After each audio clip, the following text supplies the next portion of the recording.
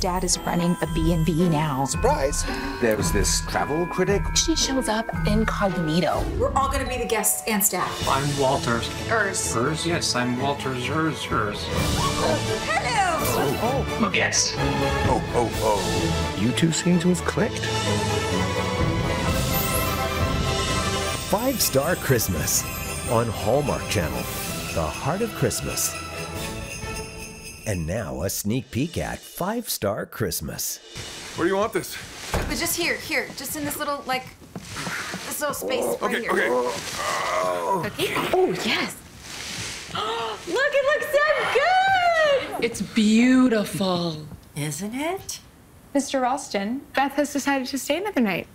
You run such a nice inn, I thought I would soak it in a little more. That is great news. I'm glad to hear it.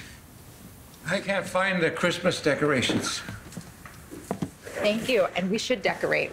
We should decorate. You're gonna have to do it without me. I'm not gonna have time to run into town, set up the Santa stand, get back, get my suit on. Let me do it. Let me help you. I'll set up You're the stand. playing with you. Santa? All the more reason why he shouldn't be the one to set up the stand. I will do it. I'll take your pickup truck and you can use my car whenever you're ready. I can take him. Kind of like to see you as Santa. Ho, ho, ho. Great. Gives me more time to decorate. Let's do it together. Yeah, the whole family. Because when you're a guest at the Ralston Inn, you're automatically a member of the family. Count me in.